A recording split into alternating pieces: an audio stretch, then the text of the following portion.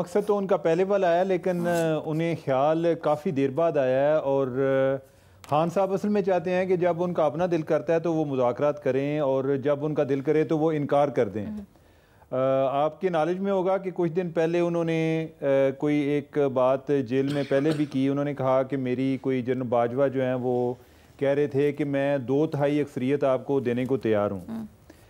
एक चीज़ जो मैं नोट करता हूँ कि एज अ जर्नलिस्ट हमें खान साहब को क्वेश्चन भी करना चाहिए कि आप जो बातें कर रहे हैं क्या हमारी ड्यूटी में सिर्फ़ ये शामिल है कि हाँ आप, आपने हमें मेगाफोन समझा हुआ है कि जो आपने चला कह दिया हमने एक दिन आप एक बात करते हैं हम उस पर चल पड़ते हैं अगले दिन कोई और बात करते हैं हम उस पर चल पड़ते हैं। तो मेरे ख्याल उन्हें क्वेश्चन भी करना चाहिए था। कि अगर जनरल बाजवा ने उस टाइम आपको कहा था ये अगर अगस्त की बात है तो नवंबर में जनरल बाजवा फारग हो रहे थे। तो जनरल बाजवा इनको किस तरीके से उस टाइम वो आ, कोई दो थाई अक्सरियत दिलवा सकते थे? तो ये एक कॉमन सेंस की बात नहीं हालाँकि उस टाइम हमने पहले इस पर बात की थी हम्म। कि जब इनकी बात हुई उधर ईवान सदर में पहली बात तो ये है कि सदर ईवान सदर के जो इनके ओनर क्या कहते हैं बासी हैं जो। जनाब सदर हैं वो एक दो दफ़ा पहले इस बारे में उनसे उनके पास गए जनरल बाजवा के पास जी कि आप आ जाएँ। उन्होंने कहा जी कि मुझे ये बड़े बाज़ार में गालियाँ देते हैं मैं इनकी क्या बात सुनूँ?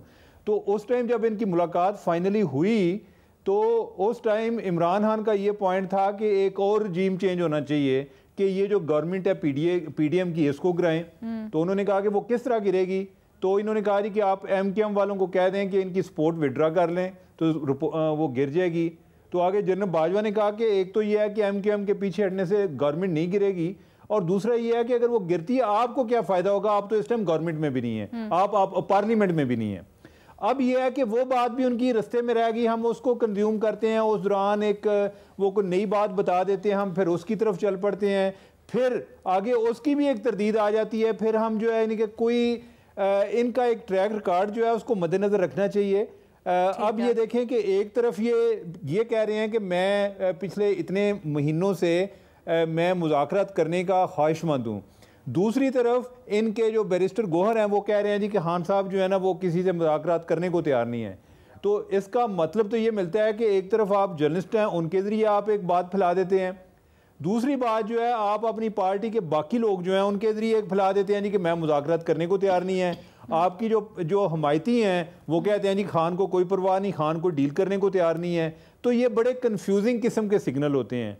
तो मैं तो उनकी को बात को वैसे को बहुत ज़्यादा संजीदा नहीं लेता। हम्म। ये जमहूरीत की मेहरबानी है क्योंकि उसमें यही होता है कि जो एक पॉपुलर को पर्सनैलिटी है जिसको लोग ज़्यादा सुनते हैं हम्म। हमें उस पर तबसरा करना पड़ता है नहीं तो आए दिन उनके बयान बदलते रहते हैं।